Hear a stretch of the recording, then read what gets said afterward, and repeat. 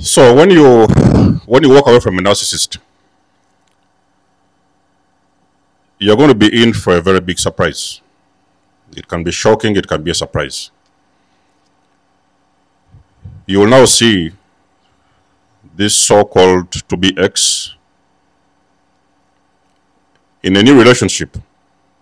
It is just like two, three days or 24 hours, sometimes a week maybe.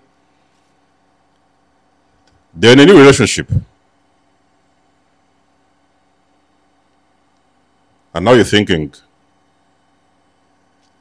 now, is that it? I mean, you guys have been together for 20 years. You spent all your, you spent eternity with them. And now they're in a, a new relationship. They are going to the beach. They are going to holidays. They are in there shopping and they are lovey-dovey, all this kind of stuff. And you're thinking in your mind, how did these guys move in? How did they move on too fast? So for the most of the guys who are living narcissistic relationships, that is what that is going to be your biggest shocker. You will never see this coming. So you have a lot of ideas going through your mind. Okay? Things are going through your mind. What is going on? How could this happen so fast? Did you do anything wrong or did, you, there's nothing you did wrong. You didn't do anything wrong. There is nothing wrong with you. Ladies and gentlemen, let me validate you on this video. There is nothing wrong with you. You did not do anything wrong. The person that you're dealing with or you have been dealing with is simply a narcissist. That is all they do, is all they know. They do not know anything else apart from that. So they're going to move on very fast. But you see, as the time goes on, you start to educate yourself because you want answers. Because you see, one of the things that the narcissist does, they never really give you closure. They don't give you closure to a relationship. So they leave you with these answers. You don't, you know, with these questions, you don't have any answers. They don't want to give you the answers. They don't want you to close this case. So what you do now, you're going out there to do the closure yourself. You want to go and get that closure yourself. So you start educating yourself. You start learning things. And then you understand what exactly was happening behind the scenes. You finally like, okay, now you get it. And you see, the knowledge you get when you leave a narcissistic uh, situationship is going to be your closure. So that is going to be your closure. It will help you to, you know, to heal faster and move on. But you'll also understand that um, there's a very big chance that you was in those relationships for some particular lessons. So you see, one of the things that the empaths, I think it is some kind of divine alignment, or I could say divine intervention, where the universe can put an empath in a certain situation so that they can be able to learn some stuff. Because those lessons that you learn after abuse, narcissistic abuse, they will help you to move on in a much more healthy way. Because it's a lot of empaths don't know how to love themselves, take care of themselves, validate themselves. You know, a lot of empaths have got codependency issues and stuff like that. And you could have been going on in uh, circles, I could say cycles, whereby you could just find yourself. I, I had one of the, I had, I had a question like that recently.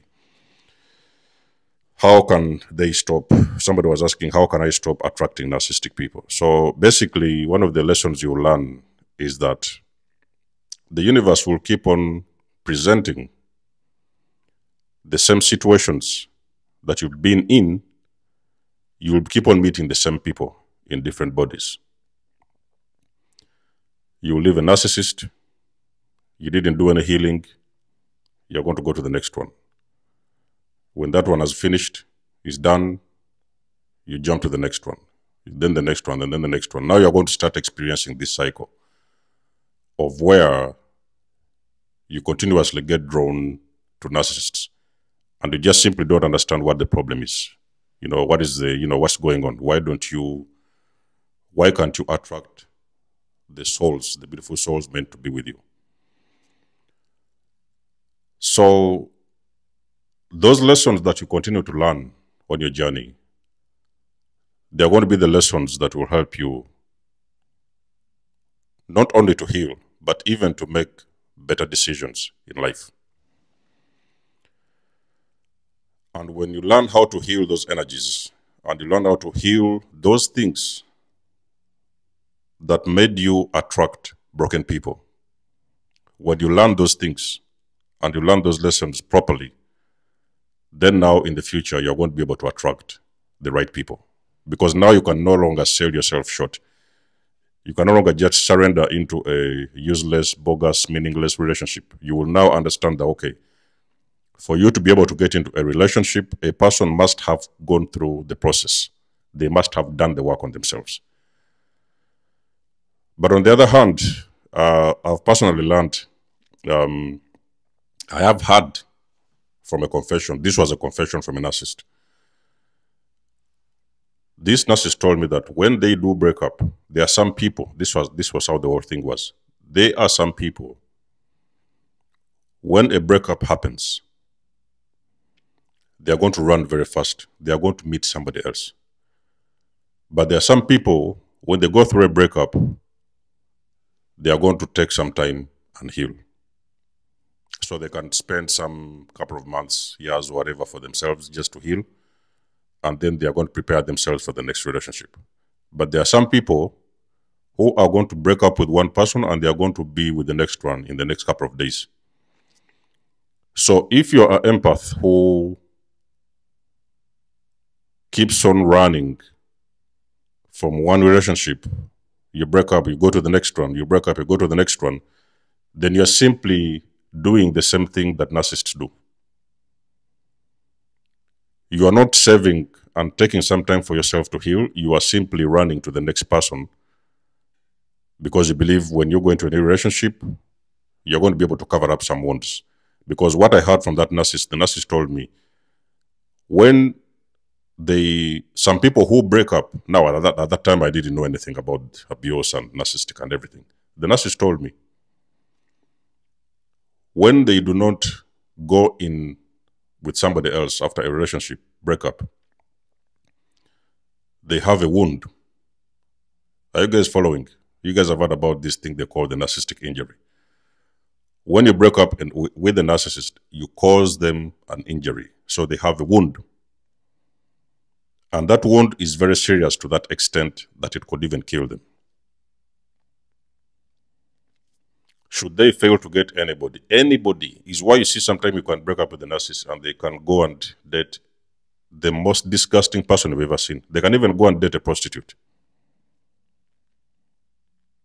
There has got to be somebody very fast, coming very quickly to cover up the wound because the narcissist told me they are covering a wound. There is a wound they are covering at that time. It's a very deep wound and they need to cover that wound very fast, to put like a plaster very fast. Those were the narcissist words in that time. Now, when I continued to educate myself, that I, I, then, I then learned what was this wound this narcissist was talking about. That's when I started to understand narcissistic abuse. So they they do this for their own survival, you know. They do this to they do this for their own survival. They cannot survive any other way. But for a person who is a healthy person, you're just there thinking that, you know, how could you have spent like the last couple of decades with them? Many of you guys have been with, uh, you know, 20 years with an narcissist. And what is going on in your mind is like, how could you have been all this time and you never meant anything to these people? You know? It is simply because the narcissist just simply saw you as the next supply. So you wasn't the next person, you are simply the next object. Because these people, they are like, uh, they take people and use people like objects. Now, they are going to use that one for this, they're going to use that one for this. Sometimes they can even use each other. The narcissists can also, can also sometimes run into each other, similar energy, and they're going to be using each other. So they run into people to use they can see and value people. They take people as objects. They need something from them, they will use them, and then they're going to dump them off and run off. Is what they do.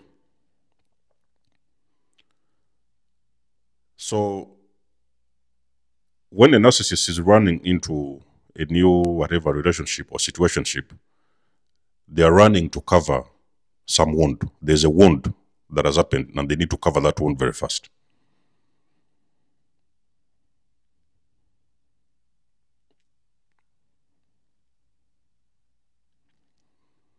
Because if they do not cover that wound ASAP, it is going to be very dangerous for them. They could I told you that this thing is dangerous. It could even kill a narcissist. That thing can kill a narcissist.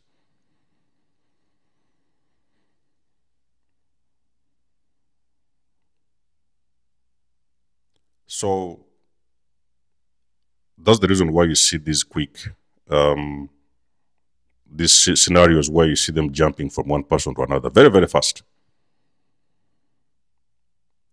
They are using other people as objects to heal. You know, a narcissist is not going to sit down in their own house and heal themselves. They cannot. They are going to die.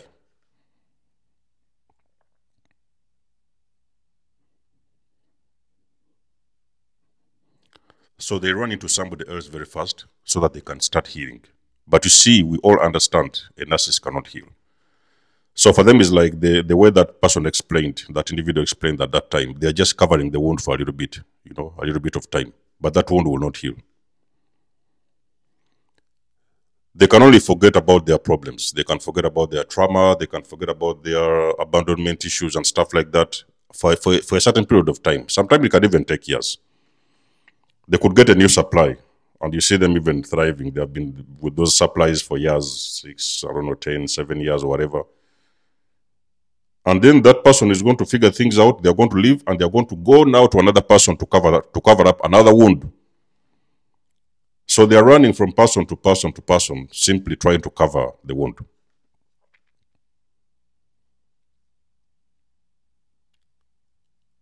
So for an empath, the most important thing you learn about narcissistic abuse is that you have got to create your space to heal. You do not need anybody to heal. You are supposed, first of all, to heal yourself on your own. Because you see, when you heal on your own, you are going to learn a lot of things about self love. You will learn that it's possible to love yourself. It's possible to do your own things your way it's possible to be on your own. It's possible to validate yourself. It's possible to provide all those things that you feel that you need in another person for yourself. You do not need anybody to give you those things. You can get those things yourself. And then now, as you heal, you're preparing yourself for your next relationship. Because you see, when you just keep on jumping from one person to another, I did, I used to do those mistakes back in the days. I just didn't understand anything because I didn't even know who I am. So when you keep on running from one relationship to another one, you are simply doing the same things that narcissists do. And usually you're going to find yourself in a lot of rebound relationships, which will never work. Now you're going out there to hurt other people that didn't hurt you. Because at the end of the narcissistic relationship, relationship, we can all agree that you already wounded at the time. So when you move on to another person, you might even sometimes meet a very beautiful person, a, a nice person who is willing to love you. You are going to hurt those other people for no reason because you never took some time for yourself to heal. Me, one thing what I can promise you, ladies and gentlemen, you cannot meet a successful person uh, relationship and have a successful relationship. Uh, you cannot meet a, a, a, person and have a successful relationship when you never sat down by yourself to heal yourself. You cannot give love to anyone when you haven't learned how to love yourself. You are first of all going to learn how to love yourself before you have now love to give to somebody else. Your cup should overflow so now when somebody else comes in, you can love them authentically and they can love you back as well. So the narcissists, they move on very fast because they want to heal the old wounds. using somebody else, but we all know that they never heal anyway. But the empath, they came in those relationships to learn something. It is until you have learned that lesson. That lesson will continue. The universe will keep on bringing that lesson until you learn that lesson properly. Empaths. I'll tell this through. I will tell you this through experience because I know.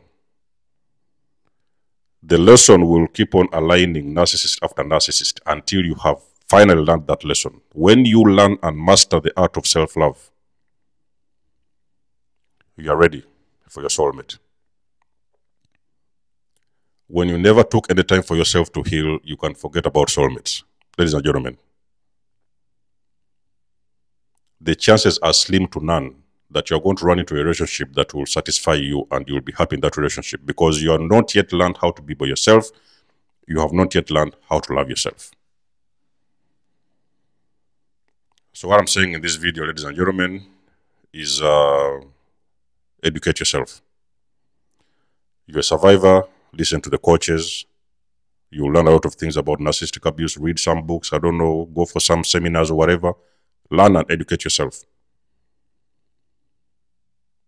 Before you think about a new relationship, first of all, learn what is going on with narcissistic relationships and how you can heal from that kind of energy to attract the person that is meant to be with you. So you guys let us know what you think about the video in the comment section below. You guys know I do love and appreciate your support.